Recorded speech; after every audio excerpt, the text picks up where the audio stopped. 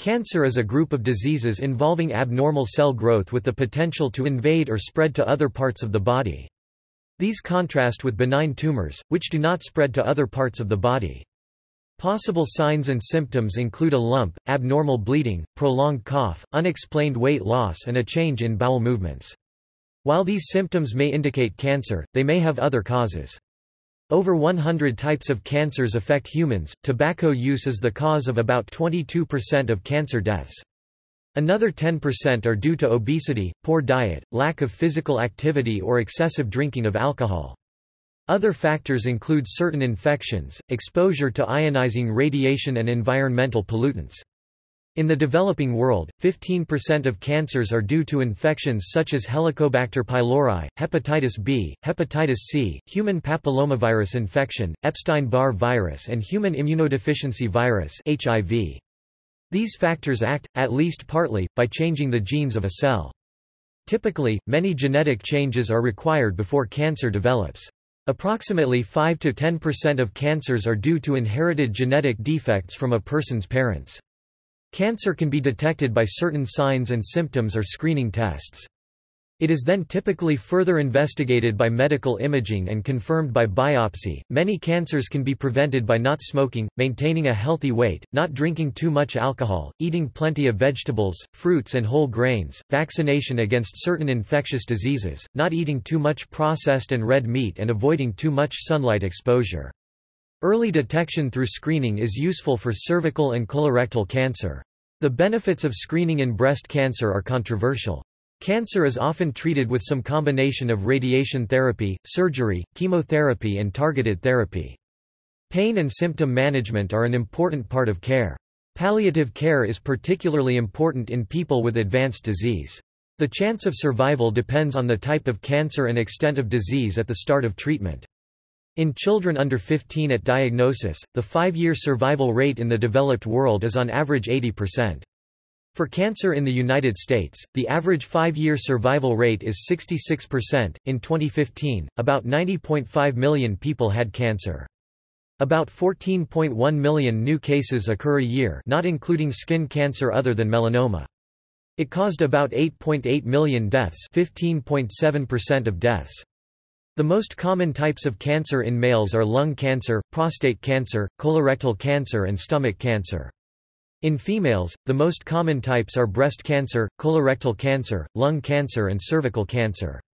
If skin cancer other than melanoma were included in total new cancer cases each year, it would account for around 40% of cases. In children, acute lymphoblastic leukemia and brain tumors are most common, except in Africa where non-Hodgkin lymphoma occurs more often.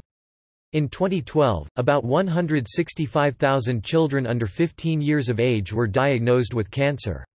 The risk of cancer increases significantly with age, and many cancers occur more commonly in developed countries.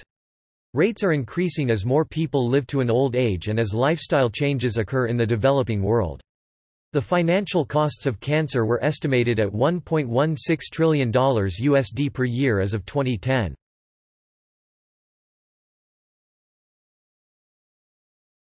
Topic: Definitions. Cancers are a large family of diseases that involve abnormal cell growth with the potential to invade or spread to other parts of the body. They form a subset of neoplasms. A neoplasm or tumor is a group of cells that have undergone unregulated growth and will often form a mass or lump, but may be distributed diffusely. All tumor cells show the six hallmarks of cancer. These characteristics are required to produce a malignant tumor. They include cell growth and division absent the proper signals, continuous growth and division even given contrary signals, avoidance of programmed cell death, limitless number of cell divisions, promoting blood vessel construction, Invasion of tissue and formation of metastased progression from normal cells to cells that can form a detectable mass to outright cancer involves multiple steps known as malignant progression.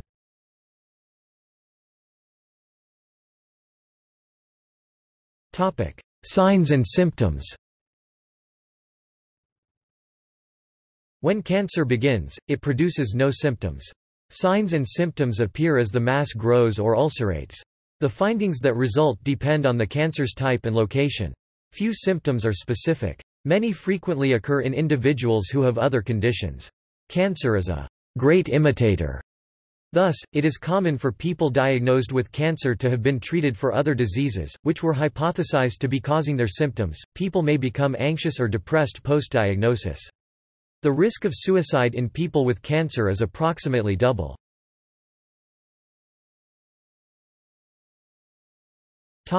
Local symptoms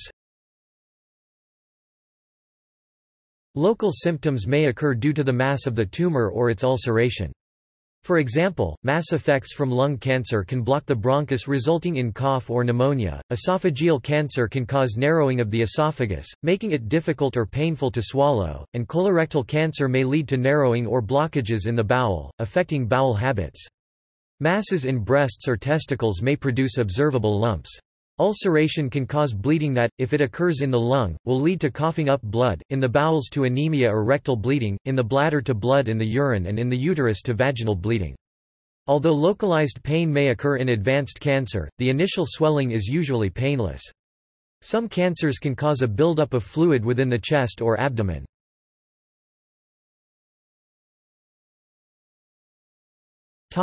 Systemic symptoms General symptoms occur due to effects that are not related to direct or metastatic spread. These may include, unintentional weight loss, fever, excessive fatigue and changes to the skin. Hodgkin disease, leukemias and cancers of the liver or kidney can cause a persistent fever. Some cancers may cause specific groups of systemic symptoms, termed paraneoplastic syndrome. Examples include the appearance of myasthenia gravis in thymoma and clubbing in lung cancer.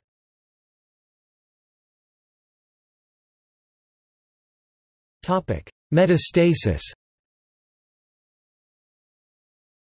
Cancer can spread from its original site by local spread, lymphatic spread to regional lymph nodes or by hematogenous spread via the blood to distant sites, known as metastasis. When cancer spreads by a hematogenous route, it usually spreads all over the body. However, cancer seeds grow in certain selected site only soil as hypothesized in the soil and seed hypothesis of cancer metastasis. The symptoms of metastatic cancers depend on the tumor location and can include enlarged lymph nodes which can be felt or sometimes seen under the skin and are typically hard, enlarged liver or enlarged spleen, which can be felt in the abdomen, pain or fracture of affected bones and neurological symptoms.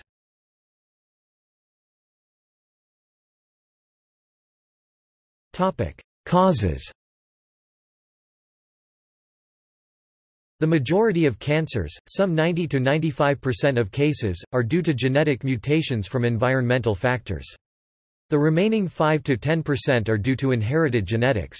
Environmental, as used by cancer researchers, means any cause that is not inherited genetically, such as lifestyle, economic and behavioral factors and not merely pollution.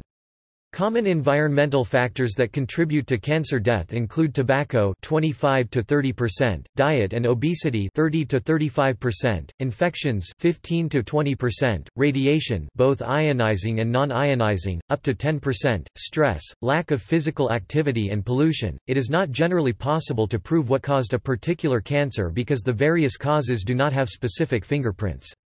For example, if a person who uses tobacco heavily develops lung cancer, then it was probably caused by the tobacco use, but since everyone has a small chance of developing lung cancer as a result of air pollution or radiation, the cancer may have developed for one of those reasons. Excepting the rare transmissions that occur with pregnancies and occasional organ donors, cancer is generally not a transmissible disease.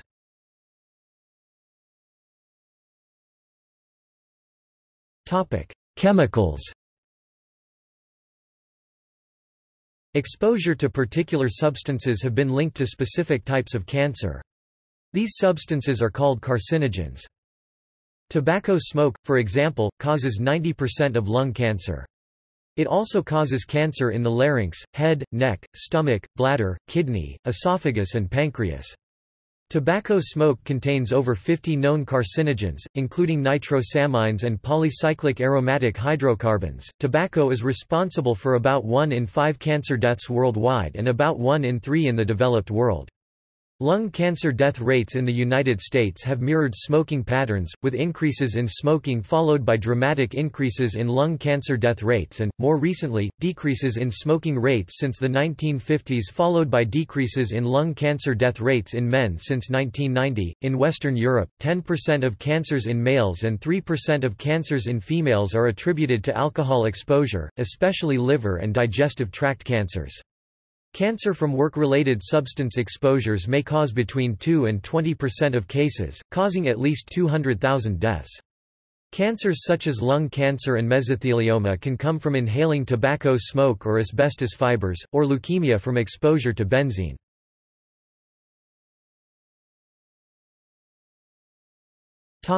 Diet and exercise Diet, physical inactivity and obesity are related to up to 30–35% of cancer deaths. In the United States, excess body weight is associated with the development of many types of cancer and is a factor in 14–20% of cancer deaths. A UK study including data on over 5 million people showed higher body mass index to be related to at least 10 types of cancer and responsible for around 12,000 cases each year in that country. Physical inactivity is believed to contribute to cancer risk, not only through its effect on body weight but also through negative effects on the immune system and endocrine system. More than half of the effect from diet is due to overnutrition eating too much, rather than from eating too few vegetables or other healthful foods. Some specific foods are linked to specific cancers. A high-salt diet is linked to gastric cancer. Aflatoxin B1, a frequent food contaminant, causes liver cancer. Betel nut chewing can cause oral cancer. National differences in dietary practices may partly explain differences in cancer incidence. For example, gastric cancer is more common in Japan due to its high-salt diet while colon cancer is more common in the United States. Immigrant cancer profiles develop mirror that of their new country, often within one generation.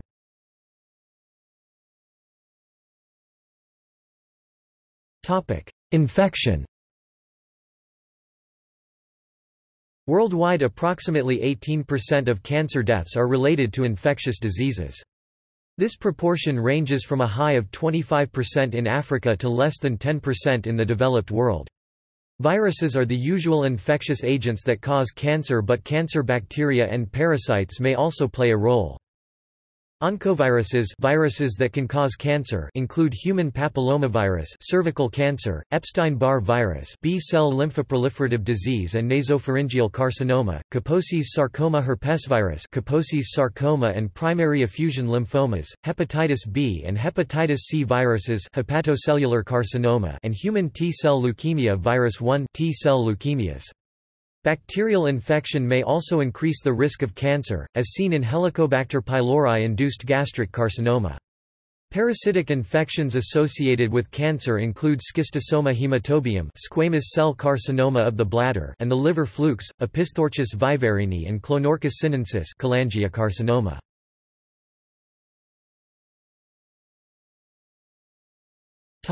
Radiation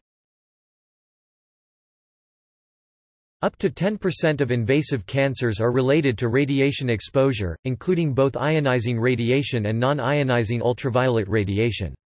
Additionally, the majority of non-invasive cancers are non-melanoma skin cancers caused by non-ionizing ultraviolet radiation, mostly from sunlight. Sources of ionizing radiation include medical imaging and radon gas. Ionizing radiation is not a particularly strong mutagen. Residential exposure to radon gas, for example, has similar cancer risks as passive smoking.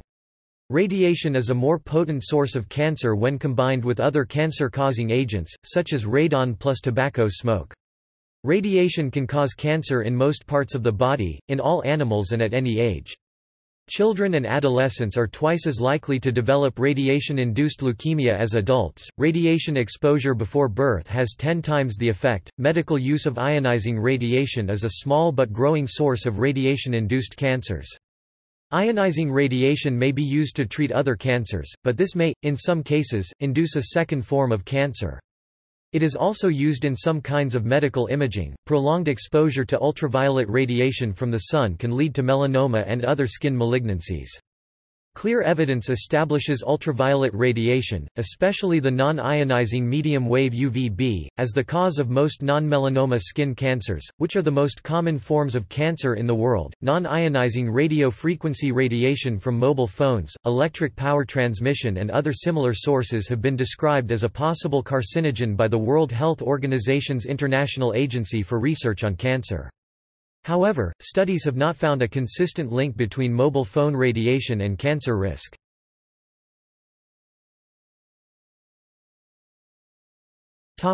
Heredity The vast majority of cancers are non-hereditary sporadic. Hereditary cancers are primarily caused by an inherited genetic defect. Less than 0.3% of the population are carriers of a genetic mutation that has a large effect on cancer risk and these cause less than 3–10% of cancer. Some of these syndromes include, certain inherited mutations in the genes BRCA1 and BRCA2 with a more than 75% risk of breast cancer and ovarian cancer, and hereditary nonpolyposis colorectal cancer HNPCC or Lynch syndrome, which is present in about 3% of people with colorectal cancer, among others. Statistically for cancers causing most mortality, the relative risk of developing colorectal cancer when a first-degree relative parent, sibling or child has been diagnosed with it is about 2.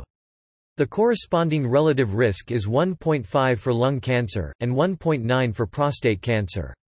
For breast cancer, the relative risk is 1.8 with a first-degree relative having developed it at 50 years of age or older, and 3.3 when the relative developed it when being younger than 50 years of age. Taller people have an increased risk of cancer because they have more cells than shorter people. Since height is genetically determined to a large extent, taller people have a heritable increase of cancer risk.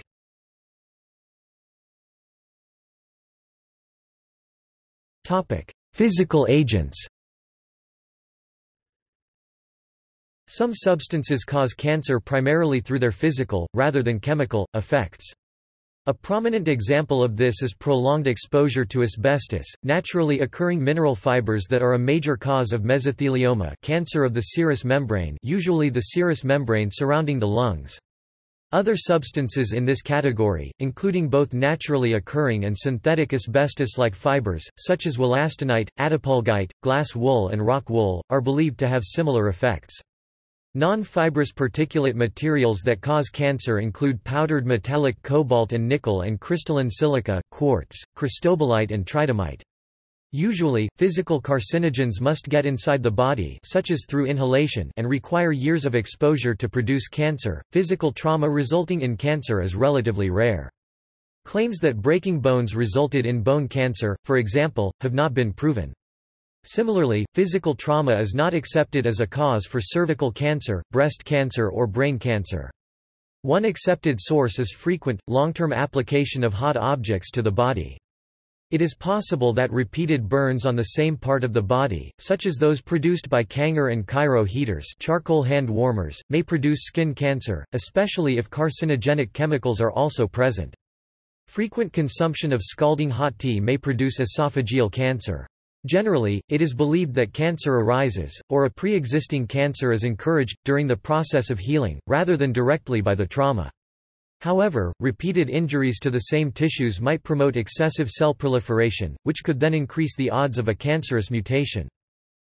Chronic inflammation has been hypothesized to directly cause mutation. Inflammation can contribute to proliferation, survival, angiogenesis and migration of cancer cells by influencing the tumor microenvironment. Oncogenes build up an inflammatory pro-tumorigenic microenvironment.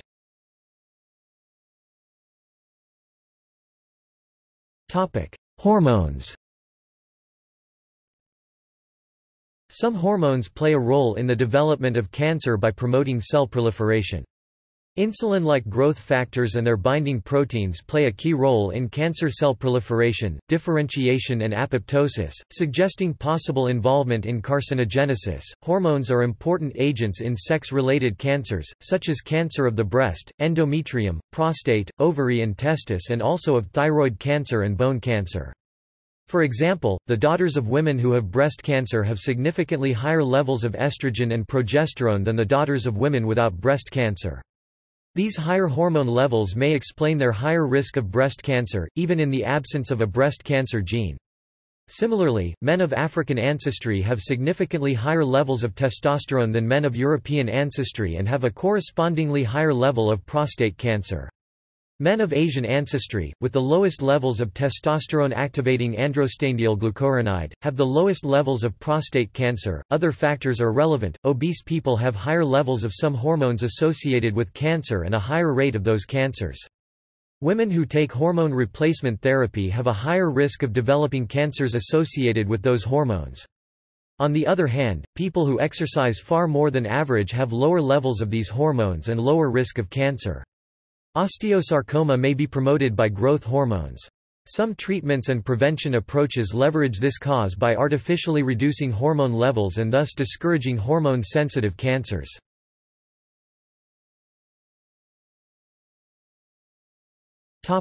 Autoimmune diseases There is an association between celiac disease and an increased risk of all cancers. People with untreated celiac disease have a higher risk, but this risk decreases with time after diagnosis and strict treatment, probably due to the adoption of a gluten-free diet, which seems to have a protective role against development of malignancy in people with celiac disease. However, the delay in diagnosis and initiation of a gluten-free diet seems to increase the risk of malignancies. Rates of gastrointestinal cancers are increased in people with Crohn's disease and ulcerative colitis, due to chronic inflammation. Also, immunomodulators and biologic agents used to treat these diseases may promote developing extra-intestinal malignancies.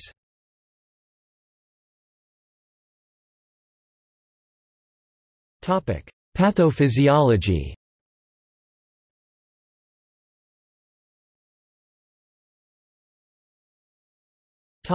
Genetics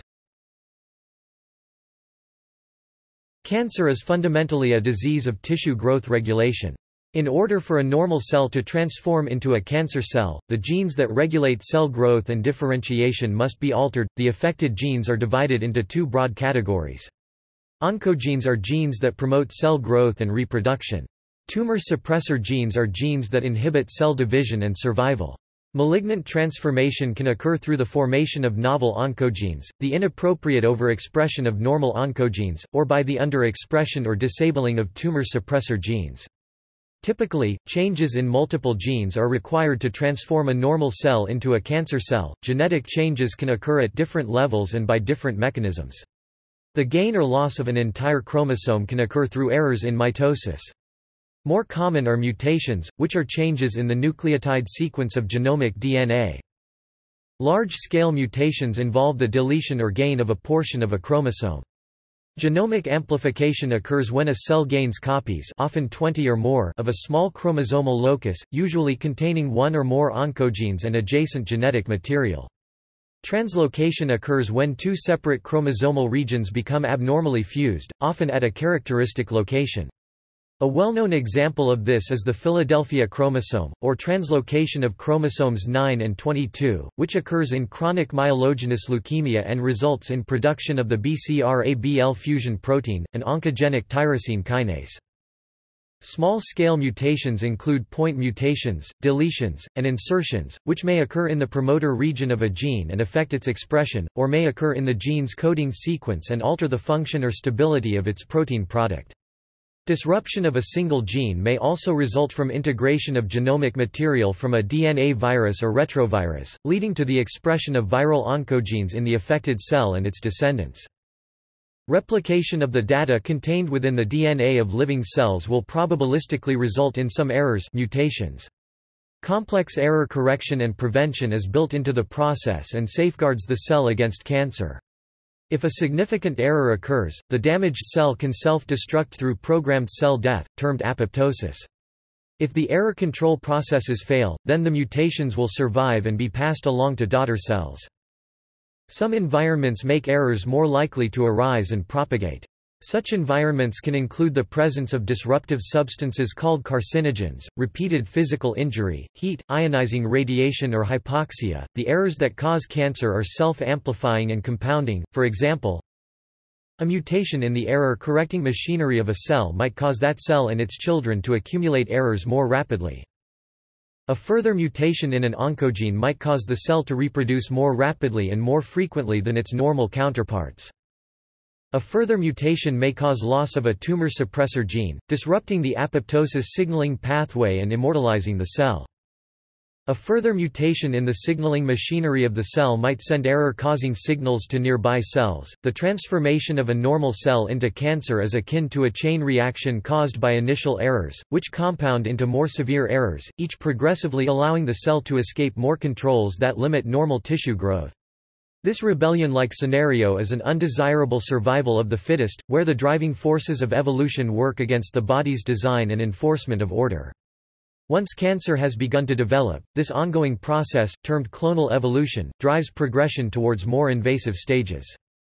Clonal evolution leads to intra-tumor heterogeneity cancer cells with heterogeneous mutations that complicates designing effective treatment strategies.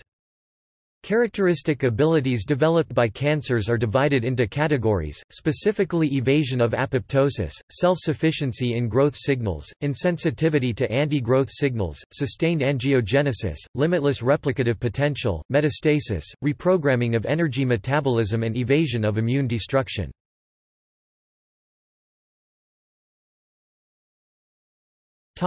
Epigenetics The classical view of cancer is a set of diseases that are driven by progressive genetic abnormalities that include mutations in tumor suppressor genes and oncogenes and chromosomal abnormalities.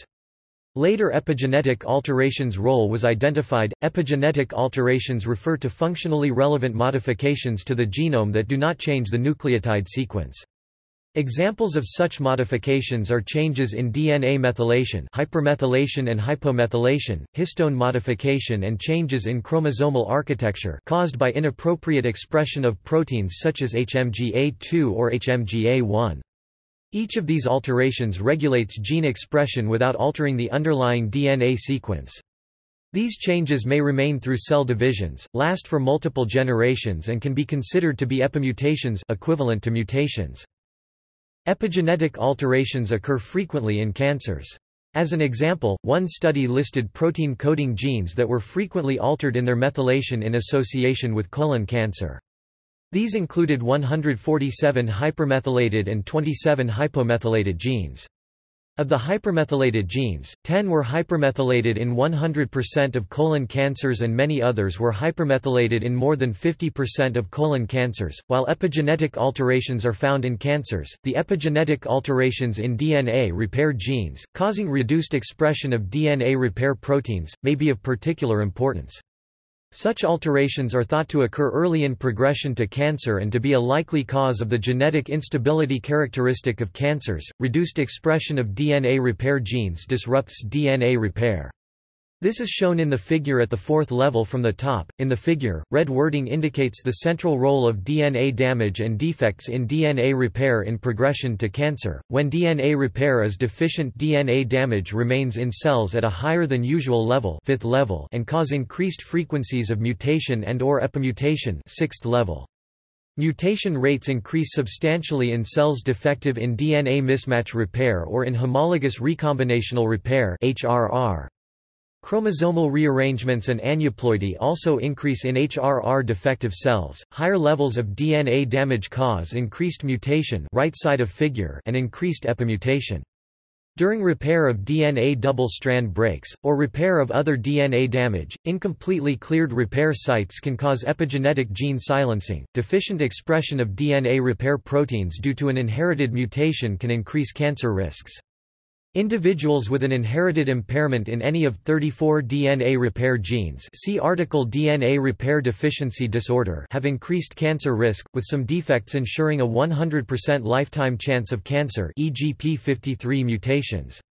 Germ-line DNA repair mutations are noted on the figure's left side.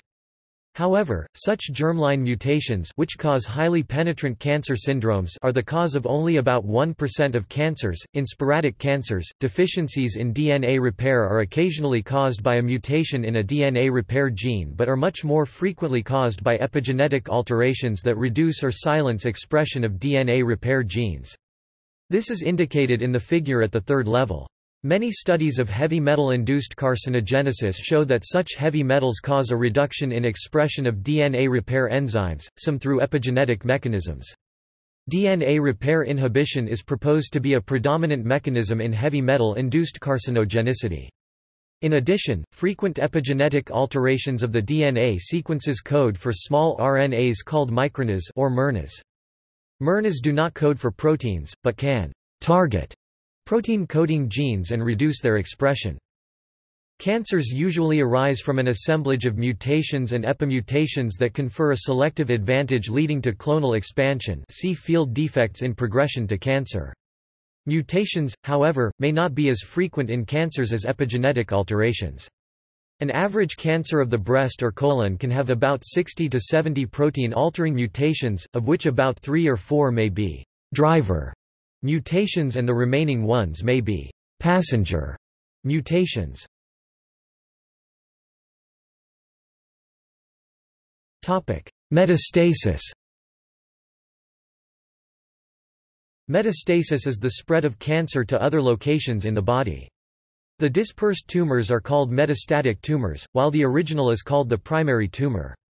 Almost all cancers can metastasize.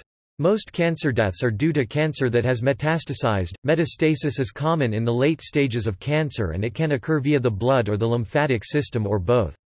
The typical steps in metastasis are local invasion, intravasation into the blood or lymph, circulation through the body, extravasation into the new tissue, proliferation and angiogenesis.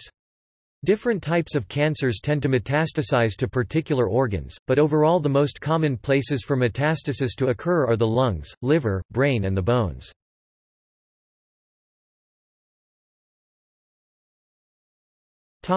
Diagnosis Most cancers are initially recognized either because of the appearance of signs or symptoms or through screening. Neither of these leads to a definitive diagnosis, which requires the examination of a tissue sample by a pathologist. People with suspected cancer are investigated with medical tests. These commonly include blood tests, X-rays, contrast CT scans and endoscopy. The tissue diagnosis from the biopsy indicates the type of cell that is proliferating, its histological grade, genetic abnormalities and other features. Together, this information is useful to evaluate the prognosis and to choose the best treatment. Cytogenetics and immunohistochemistry are other types of tissue tests. These tests provide information about molecular changes such as mutations, fusion genes and numerical chromosome changes and may thus also indicate the prognosis and best treatment.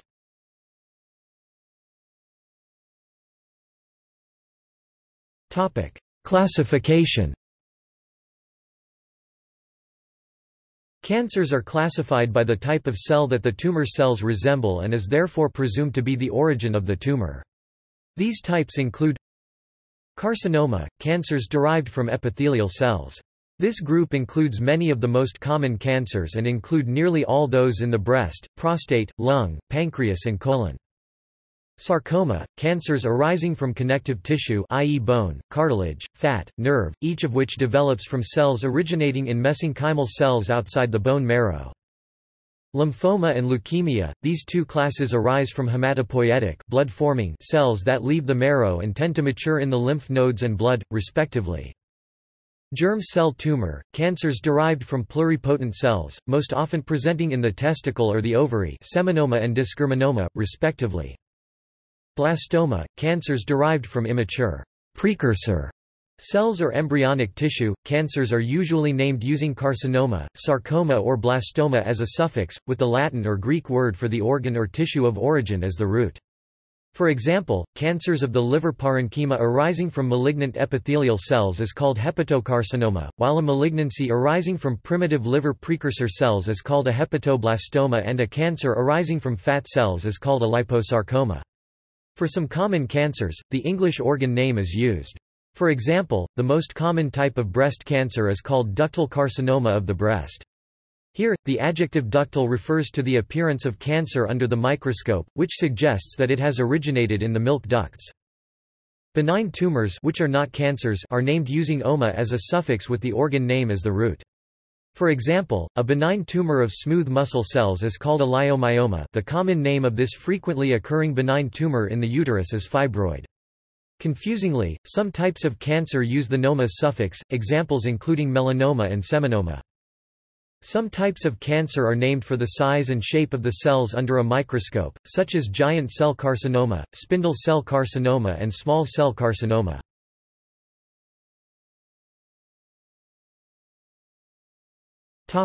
Prevention Cancer prevention is defined as active measures to decrease cancer risk. The vast majority of cancer cases are due to environmental risk factors. Many of these environmental factors are controllable lifestyle choices. Thus, cancer is generally preventable. Between 70% and 90% of common cancers are due to environmental factors and therefore potentially preventable. Greater than 30% of cancer deaths could be prevented by avoiding risk factors including tobacco, excess weight, obesity, poor diet, physical inactivity, alcohol, sexually transmitted infections, and air pollution. Not all environmental causes are controllable, such as naturally occurring background radiation and cancers caused through hereditary genetic disorders and thus are not preventable via personal behavior.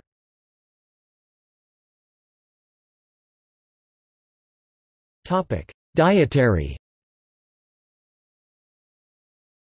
While many dietary recommendations have been proposed to reduce cancer risks, the evidence to support them is not definitive. The primary dietary factors that increase risk are obesity and alcohol consumption. Diets low in fruits and vegetables and high in red meat have been implicated but reviews and meta-analyses do not come to a consistent conclusion. A 2014 meta-analysis find no relationship between fruits and vegetables and cancer. Coffee is associated with a reduced risk of liver cancer. Studies have linked excess consumption of red or processed meat to an increased risk of breast cancer, colon cancer and pancreatic cancer, a phenomenon that could be due to the presence of carcinogens in meats cooked at high temperatures. In 2015 the IARC reported that eating processed meat e.g., bacon, ham, hot dogs, sausages and, to a lesser degree, red meat was linked to some cancers. Dietary recommendations for cancer prevention typically include an emphasis on vegetables, fruit, whole grains and fish and an avoidance of processed and red meat beef, pork, lamb, animal fats, pickled foods and refined carbohydrates.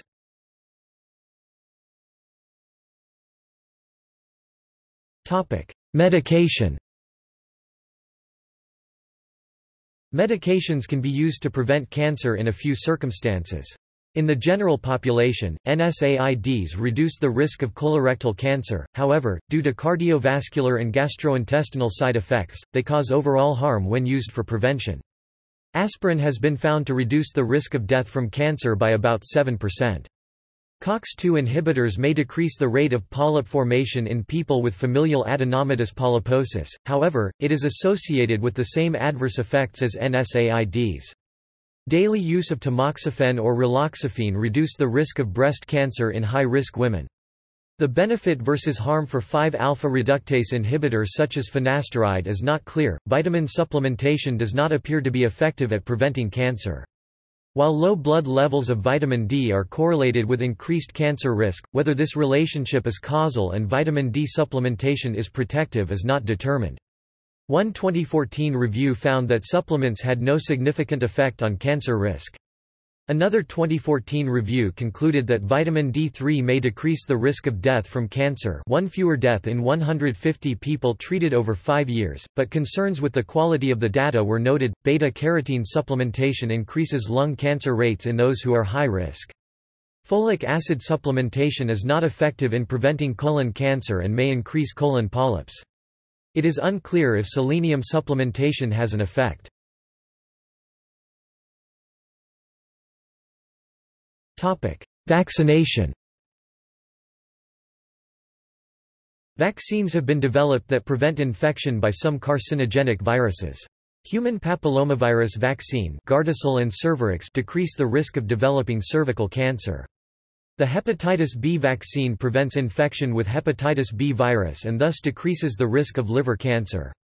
The administration of human papillomavirus and hepatitis B vaccinations is recommended when resources allow.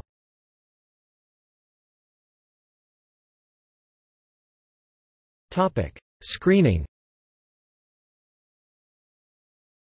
Unlike diagnostic efforts prompted by symptoms and medical signs, cancer screening involves efforts to detect cancer after it has formed, but before any noticeable symptoms appear.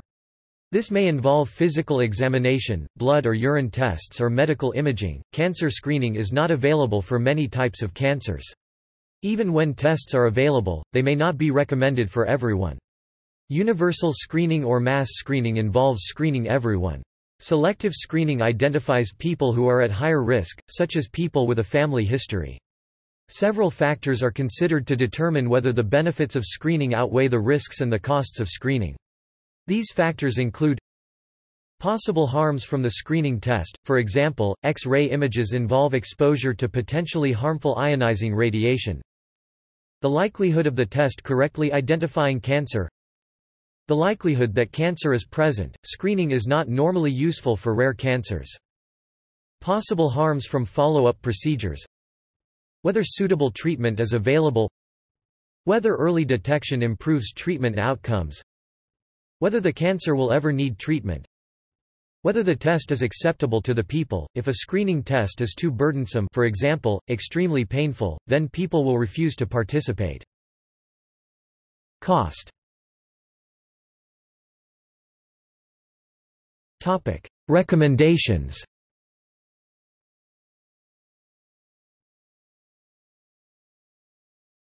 Topic: US Preventive Services Task Force. The U.S. Preventive Services Task Force USPSTF issues recommendations for various cancers. Strongly recommends cervical cancer screening in women who are sexually active and have a cervix at least until the age of 65. Recommend that Americans be screened for colorectal cancer via fecal occult blood testing, sigmoidoscopy, or colonoscopy starting at age 50 until age 75. Evidence is insufficient to recommend for or against screening for skin cancer, oral cancer, lung cancer, or prostate cancer in men under 75. Routine screening is not recommended for bladder cancer, testicular cancer, ovarian cancer, pancreatic cancer, or prostate cancer. Recommends mammography for breast cancer screening every two years from ages 50 to 74, but does not recommend either breast self-examination or clinical breast examination. A 2013 Cochrane review concluded that breast cancer screening by mammography had no effect in reducing mortality because of overdiagnosis and overtreatment.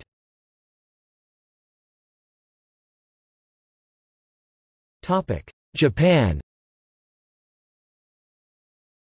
Screens for gastric cancer using photofluorography due to the high incidence there.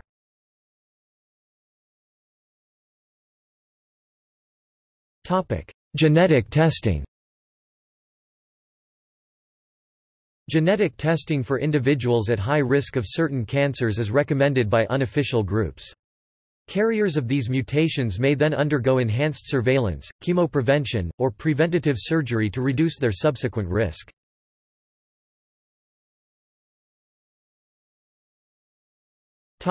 Management Many treatment options for cancer exist. The primary ones include surgery, chemotherapy, radiation therapy, hormonal therapy, targeted therapy and palliative care. Which treatments are used depends on the type, location and grade of the cancer as well as the patient's health and preferences. The treatment intent may or may not be curative.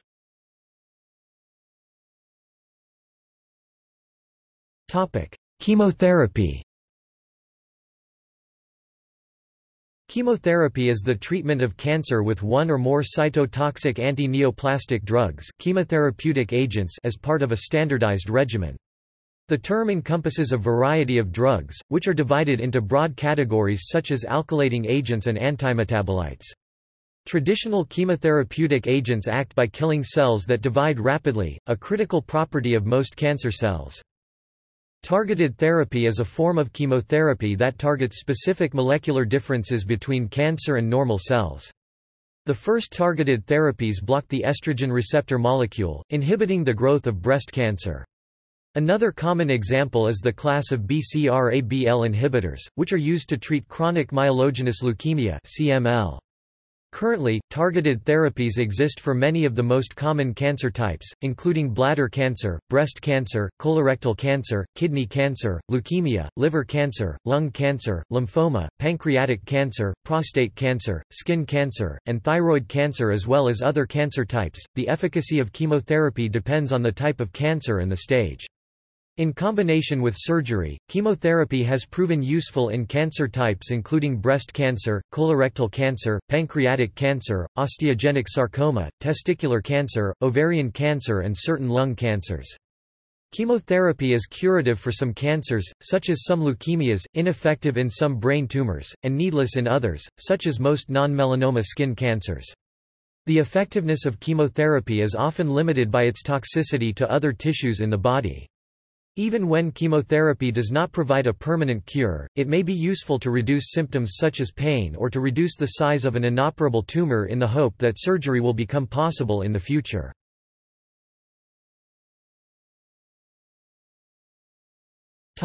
Radiation Radiation therapy involves the use of ionizing radiation in an attempt to either cure or improve symptoms. It works by damaging the DNA of cancerous tissue, killing it. To spare normal tissues such as skin or organs, which radiation must pass through to treat the tumor, shaped radiation beams are aimed from multiple exposure angles to intersect at the tumor, providing a much larger dose there than in the surrounding, healthy tissue. As with chemotherapy, cancers vary in their response to radiation therapy. Radiation therapy is used in about half of cases. The radiation can be either from internal sources brachytherapy or external sources. The radiation is most commonly low-energy X-rays for treating skin cancers, while higher-energy X-rays are used for cancers within the body. Radiation is typically used in addition to surgery and or chemotherapy. For certain types of cancer, such as early head and neck cancer, it may be used alone. For painful bone metastasis, it has been found to be effective in about 70% of patients.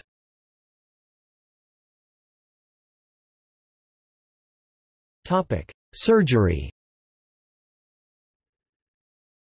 Surgery is the primary method of treatment for most isolated, solid cancers and may play a role in palliation and prolongation of survival.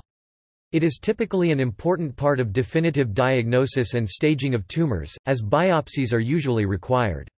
In localized cancer, surgery typically attempts to remove the entire mass along with, in certain cases, the lymph nodes in the area.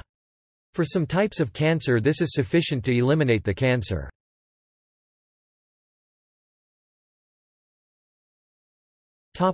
Palliative care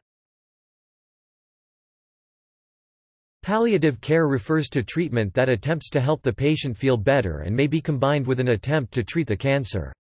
Palliative care includes action to reduce physical, emotional, spiritual and psycho-social distress. Unlike treatment that is aimed at directly killing cancer cells, the primary goal of palliative care is to improve quality of life. People at all stages of cancer treatment typically receive some kind of palliative care.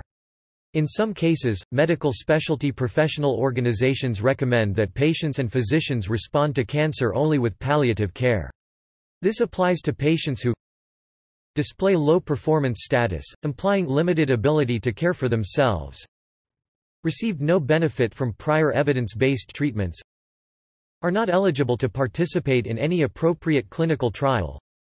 No strong evidence implies that treatment would be effective. Palliative care may be confused with hospice and therefore only indicated when people approach end of life.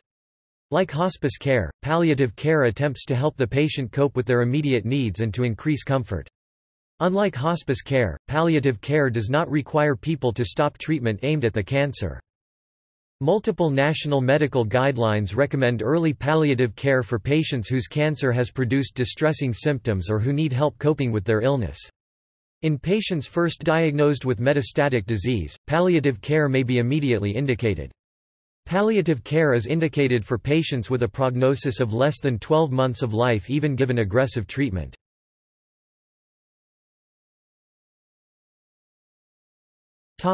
Immunotherapy A variety of therapies using immunotherapy, stimulating or helping the immune system to fight cancer, have come into use since 1997. Approaches include antibodies, checkpoint therapy and adoptive cell transfer.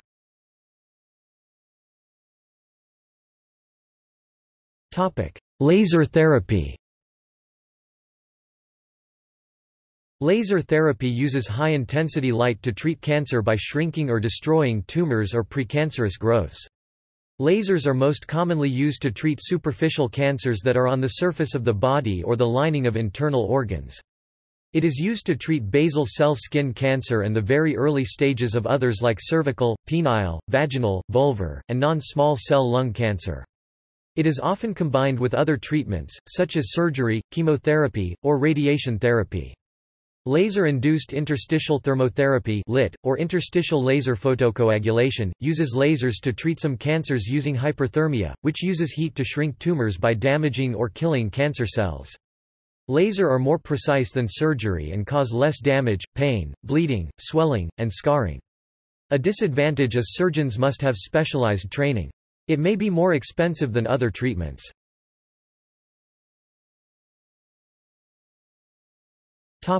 Alternative medicine Complementary and alternative cancer treatments are a diverse group of therapies, practices and products that are not part of conventional medicine. Complementary medicine refers to methods and substances used along with conventional medicine, while alternative medicine refers to compounds used instead of conventional medicine. Most complementary and alternative medicines for cancer have not been studied or tested using conventional techniques such as clinical trials. Some alternative treatments have been investigated and shown to be ineffective but still continue to be marketed and promoted. Cancer researcher Andrew J. Vickers stated, the label «unproven» is inappropriate for such therapies, it is time to assert that many alternative cancer therapies have been disproven.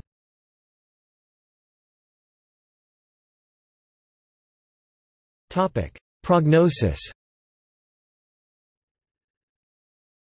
Survival rates vary by cancer type and by the stage at which it is diagnosed, ranging from majority survival to complete mortality five years after diagnosis. Once a cancer has metastasized, prognosis normally becomes much worse. About half of patients receiving treatment for invasive cancer excluding carcinoma in situ and non-melanoma skin cancers die from that cancer or its treatment. Survival is worse in the developing world, partly because the types of cancer that are most common there are harder to treat than those associated with developed countries. Those who survive cancer develop a second primary cancer at about twice the rate of those never diagnosed. The increased risk is believed to be due to the random chance of developing any cancer, the likelihood of surviving the first cancer, the same risk factors that produced the first cancer, unwanted side effects of treating the first cancer particularly radiation therapy, and to better compliance with screening. Predicting short or long-term survival depends on many factors. The most important are the cancer type and the patient's age and overall health. Those who are frail with other health problems have lower survival rates than otherwise healthy people. Centenarians are unlikely to survive for five years even if treatment is successful. People who report a higher quality of life tend to survive longer. People with lower quality of life may be affected by depression and other complications and or disease progression that both impairs quality and quantity of life. Additionally, patients with worse prognoses may be depressed or report poorer quality of life because they perceive that their condition is likely to be fatal. Cancer patients have an increased risk of blood clots in veins. The use of heparin appears to improve survival and decrease the risk of blood clots.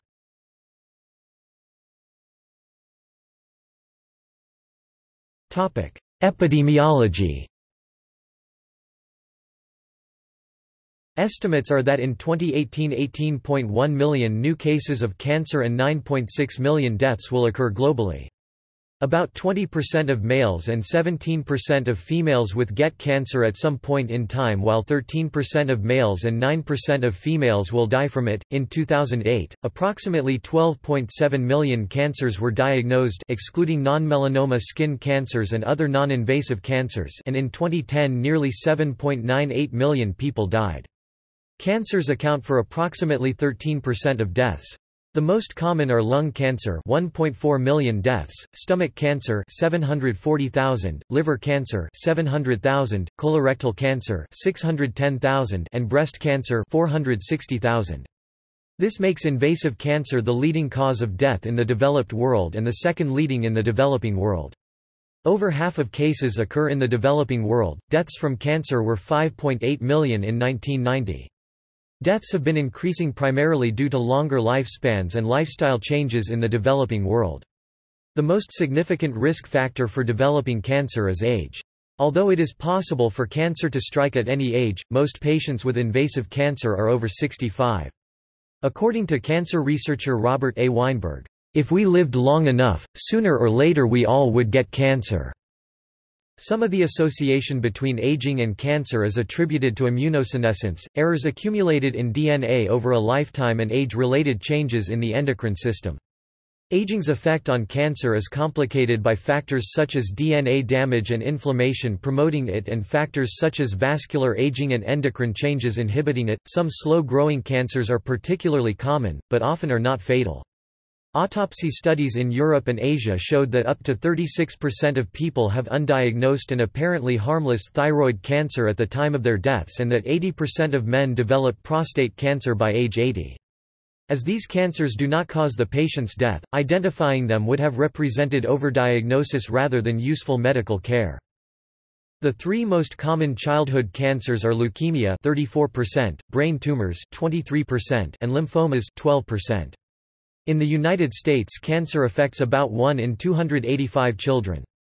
Rates of childhood cancer increased by 0.6% per year between 1975 and 2002 in the United States and by 1.1% per year between 1978 and 1997 in Europe. Death from childhood cancer decreased by half since 1975 in the United States.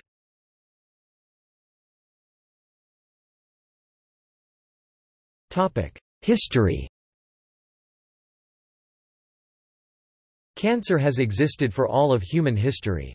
The earliest written record regarding cancer is from circa 1600 BC in the Egyptian Edwin Smith Papyrus and describes breast cancer. Hippocrates ca. 460 BC, ca.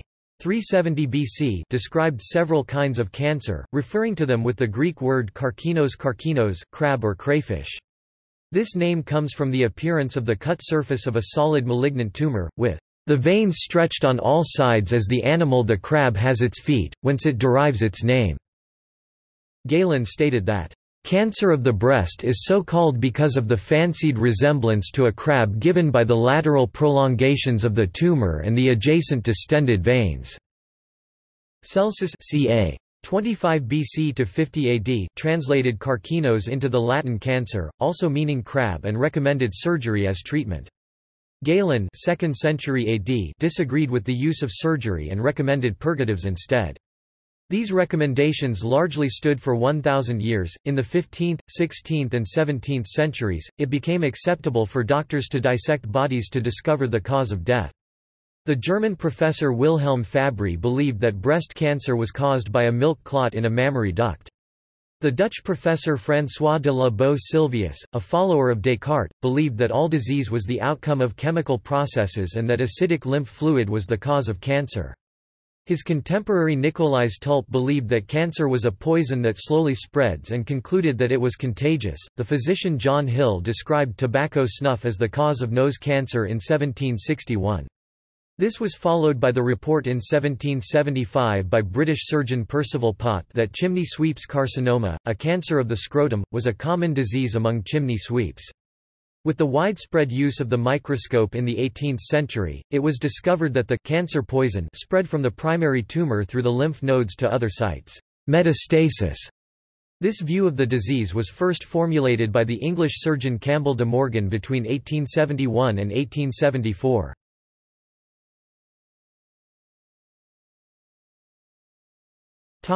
Society and culture Although many diseases such as heart failure may have a worse prognosis than most cases of cancer, cancer is the subject of widespread fear and taboos.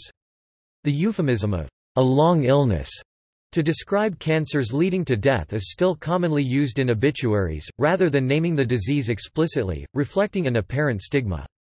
In Nigeria, one local name for cancer translates into English as, the disease that cannot be cured. This deep belief that cancer is necessarily a difficult and usually deadly disease is reflected in the systems chosen by society to compile cancer statistics. The most common form of cancer non melanoma skin cancers, accounting for about one third of cancer cases worldwide, but very few deaths are excluded from cancer statistics specifically because they are easily treated and almost always cured, often in a single, short, outpatient procedure. Western conceptions of patients' rights for people with cancer include a duty to fully disclose the medical situation to the person, and the right to engage in shared decision making in a way that respects the person's own values. In other cultures, other rights and values are preferred. For example, most African cultures value whole families rather than individualism. In parts of Africa, a diagnosis is commonly made so late that cure is not possible, and treatment, if available at all, would quickly bankrupt the family. As a result of these factors, African healthcare providers tend to let family members decide whether, when and how to disclose the diagnosis, and they tend to do so slowly and circuitously, as the person shows interest and an ability to cope with the grim news. People from Asian and South American countries also tend to prefer a slower, less candid approach to disclosure than is idealized in the United States and Western Europe, and they believe that sometimes it would be preferable not to be told about a cancer diagnosis. In general, disclosure of the diagnosis is more common than it was in the 20th century, but full disclosure of the prognosis is not offered to many patients around the world. In the United States and some other cultures, cancer is regarded as a disease that must be fought to end the civil insurrection, a war on cancer was declared in the U.S. Military metaphors are particularly common in descriptions of cancer's human effects, and they emphasize both the state of the patient's health and the need to take immediate, decisive actions himself rather than to delay, to ignore or to rely entirely on others. The military metaphors also help rationalize radical, destructive treatments. In the 1970s, a relatively popular alternative cancer treatment in the U.S. was a specialized form of talk therapy, based on the idea that cancer was caused by a bad attitude. People with a cancer personality, depressed, repressed, self-loathing and afraid to express their emotions, were believed to have manifested cancer through subconscious desire. Some psychotherapists said that treatment to change the patient's outlook on life would cure the cancer. Among other effects, this belief allowed society to blame the victim for having caused the cancer by wanting it or having prevented its cure by not becoming a sufficiently happy, fearless and loving person. It also increased patients' anxiety, as they incorrectly believed that natural emotions of sadness, anger or fear shorten their lives. The idea was ridiculed by Susan Sontag, who published Illness as Metaphor while recovering from treatment for breast cancer in 1978. Although the original idea is now generally regarded as nonsense, the idea partly persists in a reduced form with a widespread, but incorrect, belief that deliberately cultivating a habit of positive thinking will increase survival.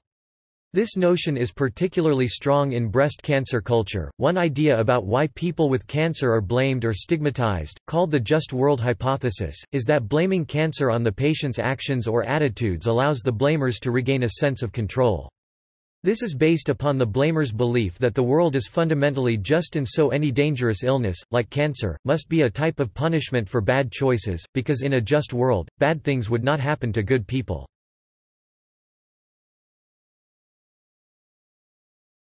Topic: Economic effect.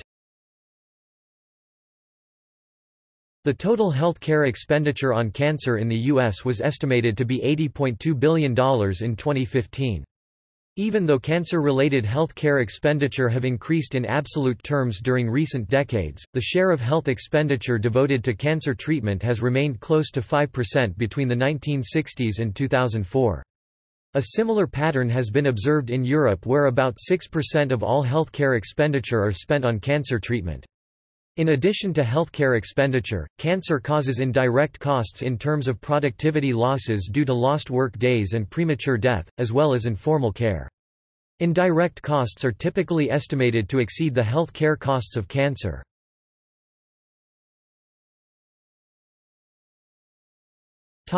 Workplace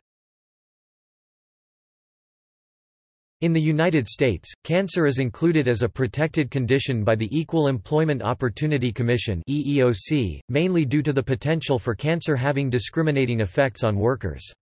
Discrimination in the workplace could occur if an employer holds a false belief that a person with cancer is not capable of doing a job properly, and may ask for more sick leave than other employees. Employers may also make hiring or firing decisions based on misconceptions about cancer disabilities, if present. The EEOC provides interview guidelines for employers, as well as lists of possible solutions for assessing and accommodating employees with cancer.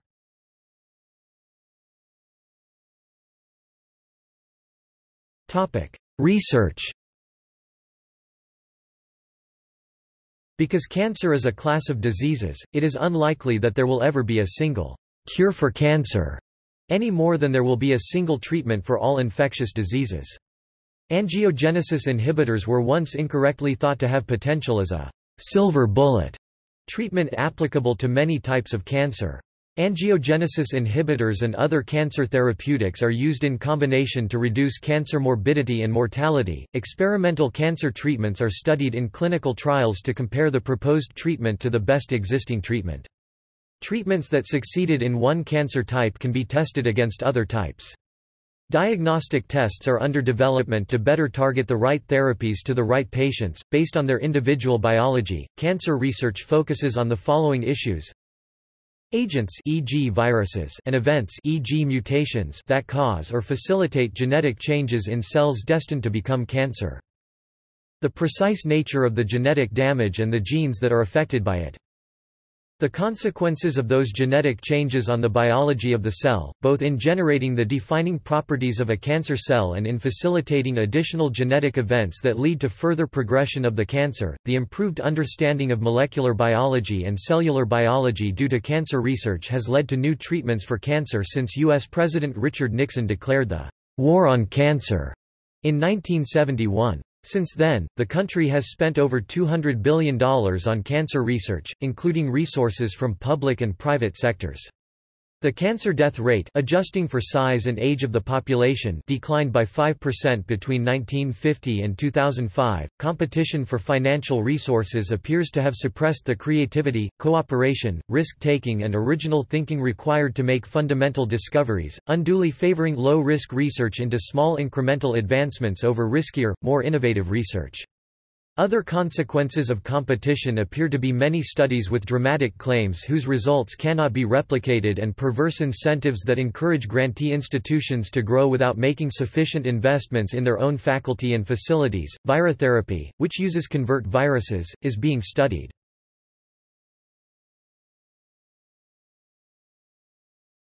Topic: Pregnancy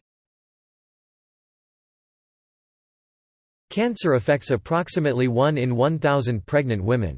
The most common cancers found during pregnancy are the same as the most common cancers found in non-pregnant women during childbearing ages, breast cancer, cervical cancer, leukemia, lymphoma, melanoma, ovarian cancer and colorectal cancer. Diagnosing a new cancer in a pregnant woman is difficult, in part because any symptoms are commonly assumed to be a normal discomfort associated with pregnancy. As a result, cancer is typically discovered at a somewhat later stage than average. Some imaging procedures, such as MRIs magnetic resonance imaging, CT scans, ultrasounds and mammograms with fetal shielding are considered safe during pregnancy, some others, such as PET scans, are not. Treatment is generally the same as for non-pregnant women. However, radiation and radioactive drugs are normally avoided during pregnancy, especially if the fetal dose might exceed 100 centigrays. In some cases, some or all treatments are postponed until after birth if the cancer is diagnosed late in the pregnancy. Early deliveries are often used to advance the start of treatment. Surgery is generally safe, but pelvic surgeries during the first trimester may cause miscarriage. Some treatments, especially certain chemotherapy drugs given during the first trimester, increase the risk of birth defects and pregnancy loss spontaneous abortions and stillbirths. Elective abortions are not required and, for the most common forms and stages of cancer, do not improve the mother's survival.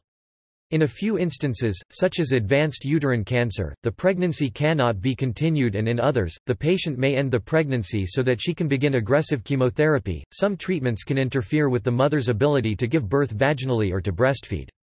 Cervical cancer may require birth by caesarean section. Radiation to the breast reduces the ability of that breast to produce milk and increases the risk of mastitis. Also, when chemotherapy is given after birth, many of the drugs appear in breast milk, which could harm the baby.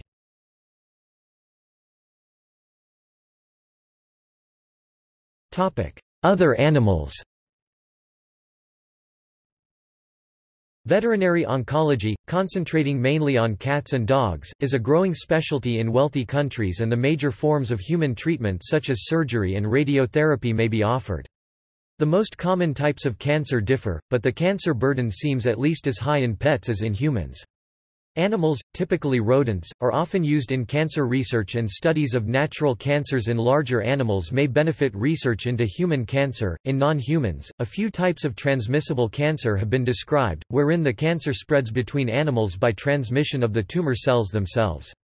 This phenomenon is seen in dogs with Sticker's sarcoma also known as canine transmissible venereal tumor, and in Tasmanian devils with devil facial tumor disease DFTD.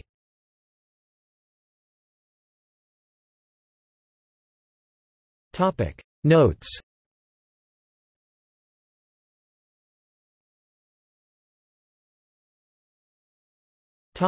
Further reading